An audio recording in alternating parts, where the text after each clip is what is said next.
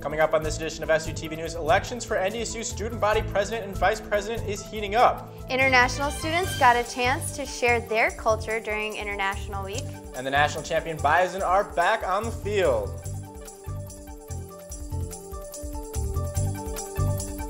This is SUTV News, and it starts now.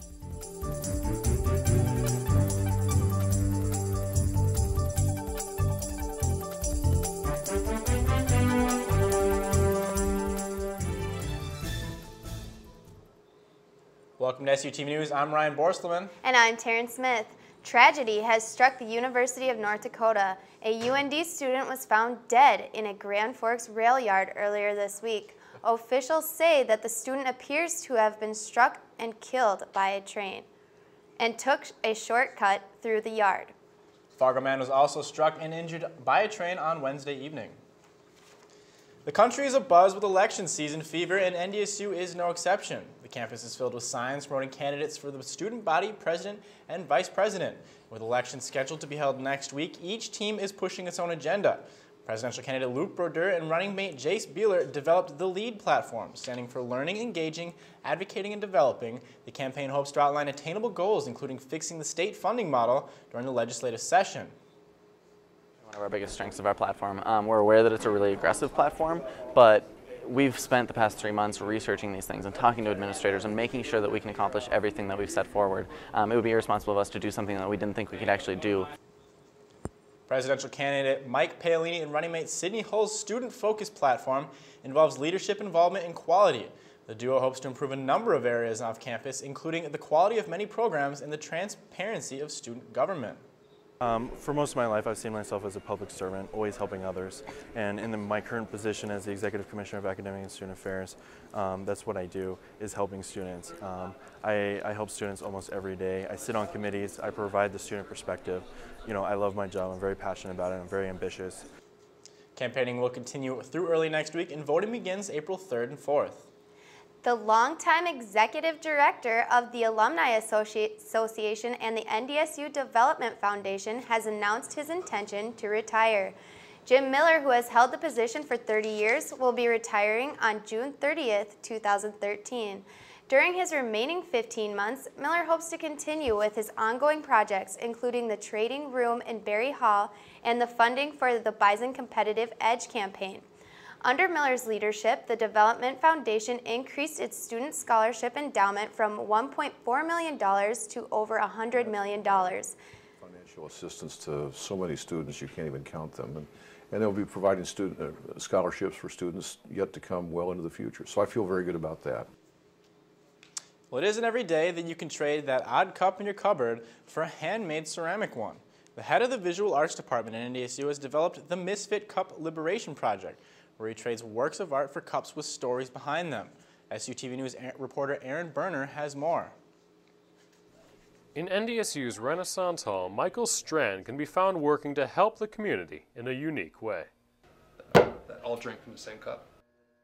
The artist has created 100 ceramic cups and traded 99 of them in exchange for a misfit cup with a story to tell what started off was maybe an interest in bad design or something um, like a plastic martini glass.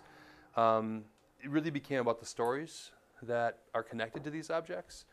And um, so I'm really interested in that, and I'm interested in, in the history behind that object. I'm interested in um, why is that cabinet? Why is that? What's the story? When did you get that, and why is that part of your life? And the project provoked some interesting reactions. That really became a cathartic experience for a lot of people.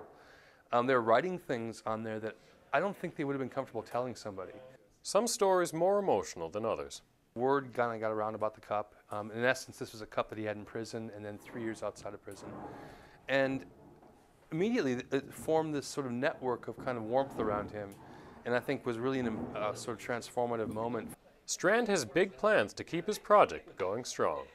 Uh, where I will travel this to 10 different locations uh, globally. And the idea is that um, this becomes um, maybe an alchemist level anthropological survey, right, of, of what's at the back of our cabinets. The Misfit Cup Liberation Project can be admired at the Plains Art Museum in downtown Fargo.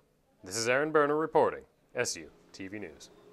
Strand intends to take the project to 10 other cities around the globe. More of his work, organizations, and presentations can be found at his website at www.michaeldrestrand.com. Now, something interesting about this project is that he's keeping, of the 99 cups that he gave away, he actually kept one, the 100th cup, as his own, as, as a kind of a representation of the project. Yeah, and I heard by the end of it all, he plans to say or have made a thousand cups. 1,000 cups is very impressive. Yeah, very impressive. The university hosts a variety of programs for International Week. We'll tell you how NDSU honored its different cultures after this.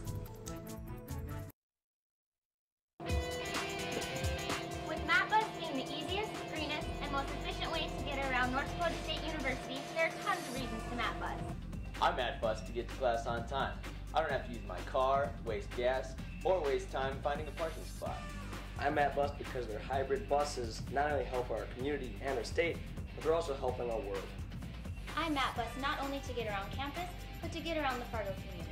The 25 different routes get me anywhere I need to be. There are many reasons to MATBUS. Come find yours. Join the herd. Be MATBUS strong.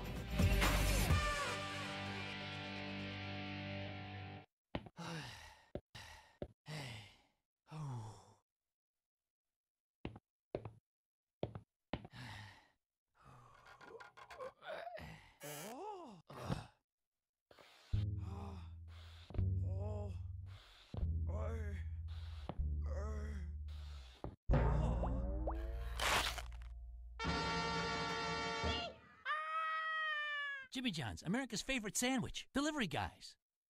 Steps up, throws deep. Holloway is there at the five. Caught at the two. Touchdown,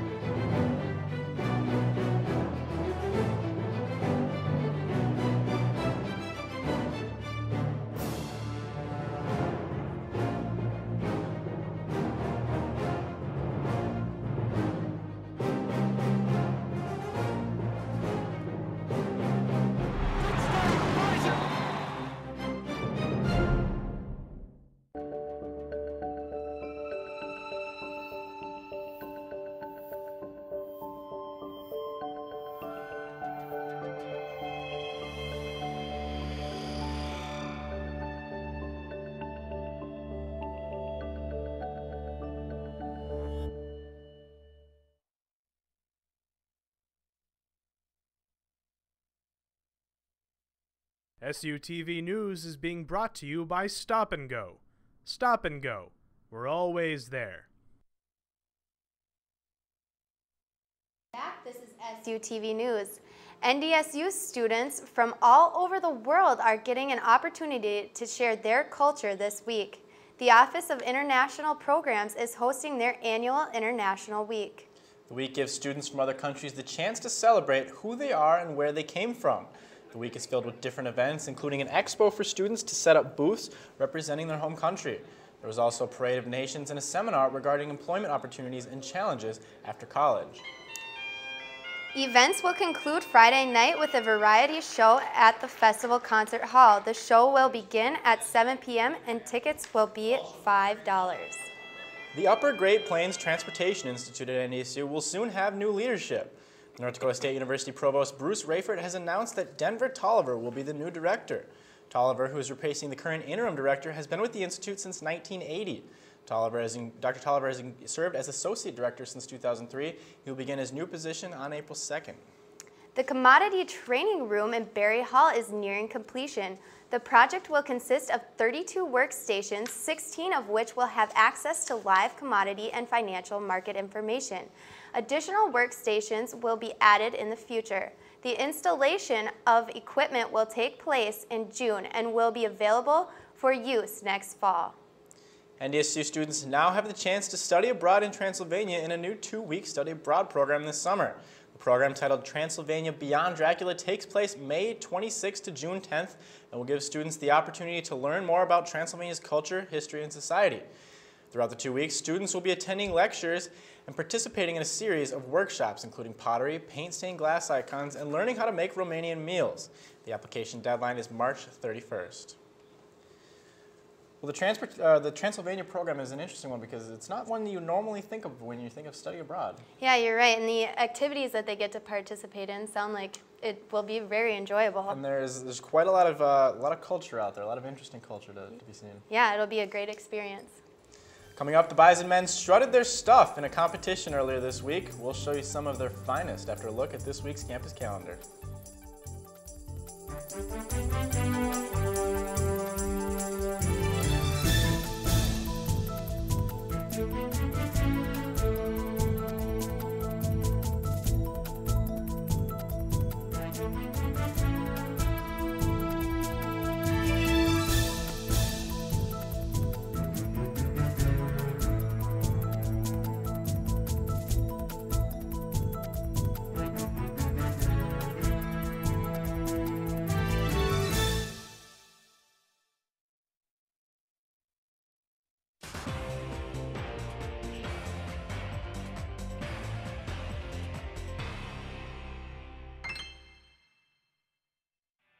College is the time to explore career opportunities and cultivate networking skills. Online social networking websites such as LinkedIn make this easier than ever. With LinkedIn, you can network with other professionals, search and apply for jobs, and strategically market yourself to potential employers. So let's talk tech. As a specific type of social networking, LinkedIn is dedicated to connecting professionals from a variety of career fields. No matter your major, LinkedIn is a fantastic tool that college students can use to jumpstart their professional careers. To sign up with LinkedIn, all you need is your name and an email address. From there, you can choose from several options to create a personal profile showcasing your previous work experience and education. LinkedIn also gives you the ability to upload your resume for potential employers to view. You can also use critical information from your resume to fill out the key elements of your LinkedIn profile. Next, you can begin building a network of people you know or would like to connect with. These can include coworkers, supervisors, classmates, and potential employers. Find these contacts by searching for their name and or email address and click the Add to My Network link on their profile page. For the soon-to-be graduates interested in finding a job, LinkedIn also offers a job search function that connects you with your dream employers. Some job postings will even give you the opportunity to apply directly through LinkedIn. The LinkedIn Job Search is also a great tool current students can use to explore the job market and research employer expectations. With over 100 million users, LinkedIn is the world's largest online professional network. So create a free account today and jumpstart your career.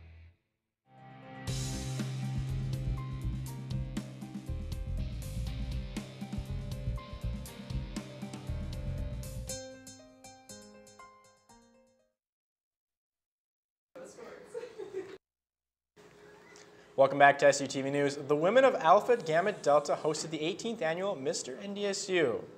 20 men from NDSU showcased their bison wear, their ability to dance and lip sync, and their formal wear. The participants showed the judges why they should be America's next top bison.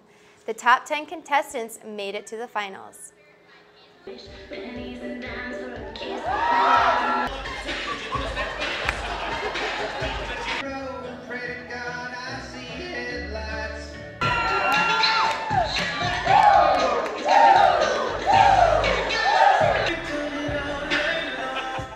Winner is Dane Johansson. All proceeds from the event will go to the Make-A-Wish Foundation. Women's Week at NDSU highlights the two local influential women. The Memorial Union Art Gallery is showing a historic costume collection about Kate Wilder and Ruth Haggard. Both women were suffragettes and had a large impact on Fargo's history. The display includes two paintings, original dresses, photographs, and a hat. I think those are, you know, fabulous leadership models for everybody, but especially for women of their time. Certainly it was fairly controversial then and manages to be sort of controversial still. The exhibit will be on display through the end of the month. NDSU's Office of Publication Services and the Office of Distance and Continuing Education has won it big at the annual Addy Awards. The competition was made up of nearly 400 entries across North Dakota. Areas of competition and advertising were print, TV, radio, and interactive. The Gold Addy Award winners will move on to a district competition where they will compete against other local winners from South Dakota, Minnesota, and Wisconsin. Winners have a chance to go on to a national competition. Next week, people can lace up and walk for a cause. The American Heart Association and the American Diabetes Association is inviting people to take steps toward a healthy heart by walking. The week will feature several events, including a one to two mile walk starting at the NDSU Wallman Wellness Center, National Walking Day, and a run 5K run or walk at the Scheels Arena. For more information on events, visit www.startwalkingnow.org. NDSU students have been lucky this year. With the lack of runoff from snow, the Red River hasn't experienced any flooding. Sidewalk Stampedes set out to recollect flood fighting memories from the pa years past.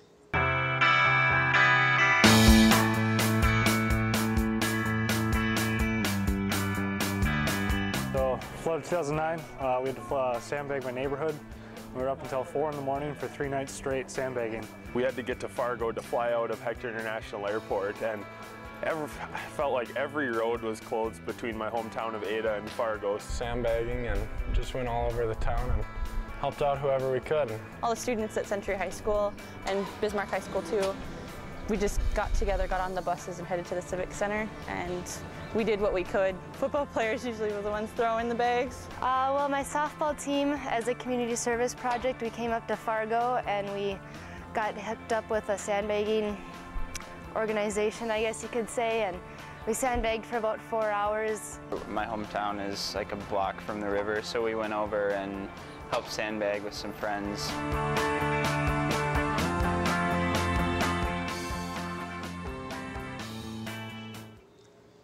You know, I have to agree, we have gotten very lucky with this year with no flood whatsoever.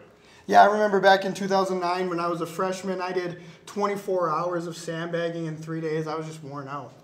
Yeah, well, I've never gotten to experience sandbagging yet, so. In this freshman year, we did get two full weeks off of school on top of spring break, which I've been missing. But they, they crammed it all in. When we come back, a closer look at spring football right after this.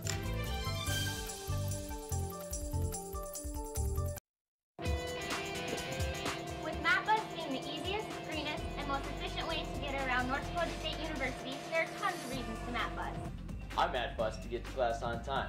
I don't have to use my car, waste gas, or waste time finding a parking spot. I'm at bus because their hybrid buses not only help our community and our state, but they're also helping our world. I'm at bus not only to get around campus, but to get around the Fargo community. The 25 different routes get me anywhere I need to be. There are many reasons to MATBUS.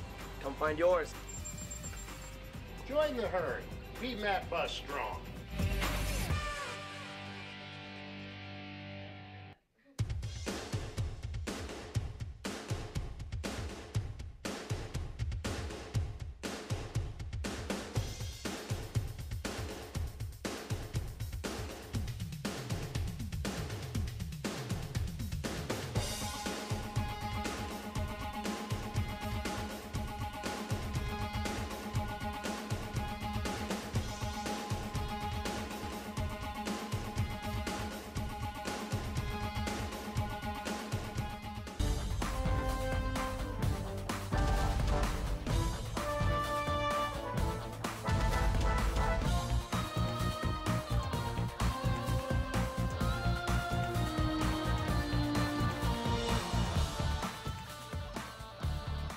There's always something happening on the NDSU campus.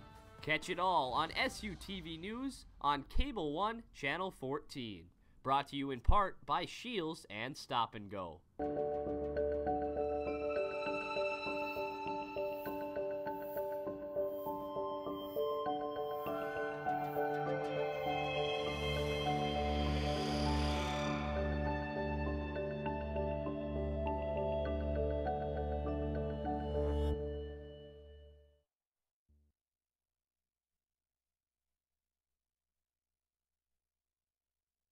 SUTV Sports is being brought to you by Scheels. Ready for your next big adventure? Welcome to Scheels. Welcome back. The national champion Bison football team has finally put the pads back on. Wednesday marked the first practice of the season in full pads. The Bison will be returning a lot of their power players on offense, including quarterback Brock Jensen, running back Sam Ojuri, and wide receiver Ryan Smith. New defensive coordinator Chris Klieman will also be returning a lot of key players, including Marcus Williams, Colton Heagle, and national champion MVP Travis Beck. The one area Bison will really need to focus on is the kicking game. We weren't able to have Adam Keller uh, kick today, and that was disappointing. He pulled his hamstring at the tail end of winter conditioning. Uh, ben LeCompte did a nice job uh, punting. He's still a little bit inconsistent. And Mike Murphy had been our snapper, and I think it's good to get him back out here. The Bison will compete in the annual Green and Gold game Saturday, April 21st. The season officially starts September 1st against Robert Morris. Well, the spring weather has only recently made its way to Fargo, but the NDSU Bison baseball team has been hard at work practicing and winning games in the South for over a month. SUTV's Matt Murtis has more on the story. It's warm weather and sun one day, and frigid cold and indoor practices the next. This is a transition that the NDSU Bison baseball team knows all too well. Uh, I've been here four years and I kind of got used to it. You know, it's one of those things where you're on the road in nice weather and you come back home and you're just used to being here for two days in the snow in here and get on a bus again and leave. It's something you get used to after the first year, but uh, it's definitely a transition. It's tough right away. Being limited to indoor practice at home and 28 straight road games puts the team at a slight disadvantage, but that doesn't hold the team back for long. We only use it as an excuse for so long because now we've played three series, you know, we got on our belt and now, you know, practice, you know, just sharpening up, so it's not like we're missing a whole lot. This season has had a relatively good start, defeating nationally ranked Arizona, which is a first for the program since it became Division One. You know, getting a quality win like that was something to show that we put our program on the map for a change. And it was something to signify us, but it was only just the beginning of what I think we can do down the road here. Every year since I've been here, we've increased our win totals and, and made the playoffs for the first time last year. And we're, we're hoping to build off of that and not only be in, back in the playoffs with a better seed, but also uh, hopefully winning that tournament at the end of the year. With winter wrapping up, it won't be long until the Bison are playing on their own turf here at Newman Outdoor Stadium.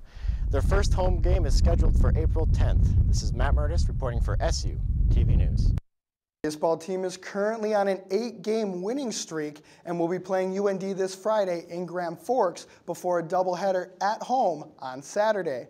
Their series against Valley City State has been moved up one week and will start on April 3rd. Bison softball has started conference play undefeated. After a three-game sweep of Oakland last weekend, the team will come home being 6-0 in the Summit League.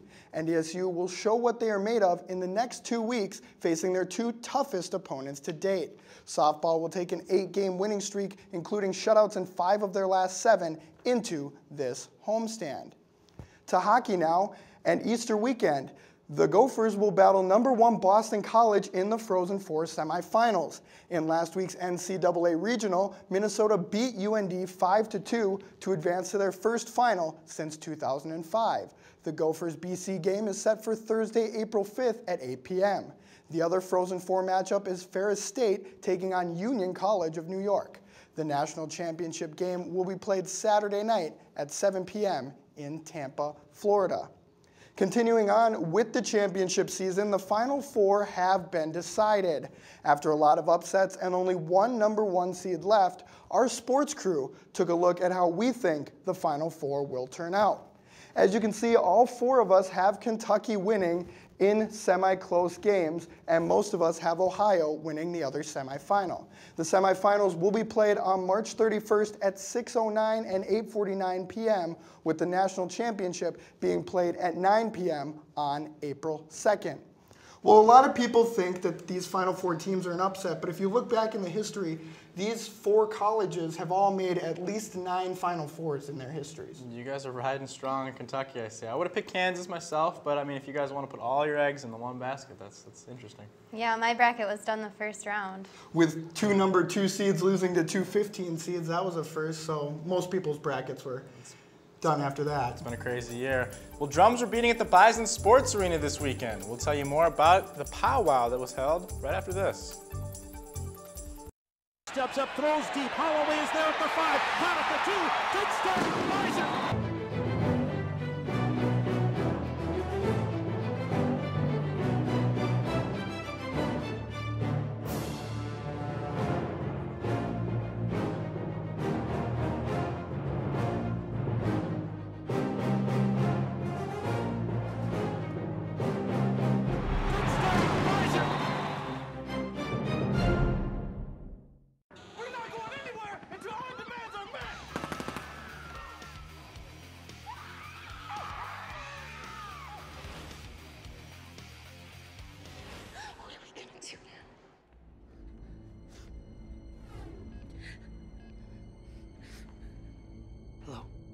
Jimmy John's?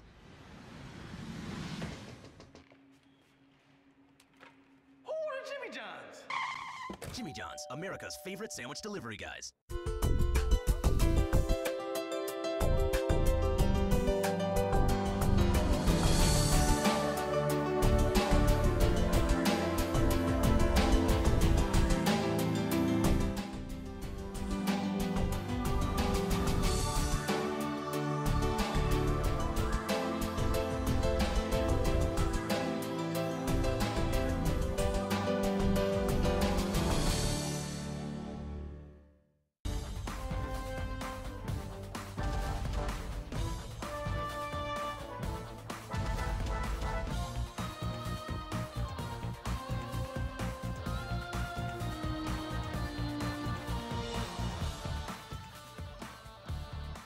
There's always something happening on the NDSU campus.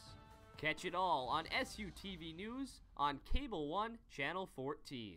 Brought to you in part by Scheels and Stop and Go. Welcome back to SUTV News. The Bison Sports Arena was host to the 23rd annual Woodlands and High Plains Traditional Powwow. The theme was Walk with a Purpose. Head dancers were Thomas Bluestone, a member of, a, of three affiliated tribes in North Dakota, and Kelsey Peltier, a member of Turtle Mountain Tribe. Bluestone and Peltier are both NDSU students. Performing were the Buffalo River Drum Group from Fargo. Others involved came from the White Earth Tribe in Minnesota and the Sisseton Wahpeton Sioux Tribe. Powwow was sponsored by NDSU, Concordia College, MSUM, and Minnesota State Co Community and Technical College. It was good to see NDSU students in the Fargo-Moorhead community and then in communities around the, the area getting involved with this. Yeah, I know that's an event that is very well sponsored or supported. Well, this weekend we're looking at some beautiful weather, sunny, warm, great weather to go out and get your first look at Bison baseball and Bison softball. Both teams at home on Saturday, so fans should get out there and get a taste of that baseball and softball. It's about fever. time after this rainy weather this week in the, the mid 50s. I'm looking forward to seeing 70 again, and, and it is nice to see the baseball team and softball teams home finally after those long away games streaks in the beginning of the year. 24 and 33 games straight on the road. It, it's going to be nice to see them at home. Yes, it will. Well, thank you for watching SUTV News. Don't forget to pick up your copy of the Spectrum. We leave you with video from this weekend's powwow. Have a good Easter break. We'll see you in two weeks.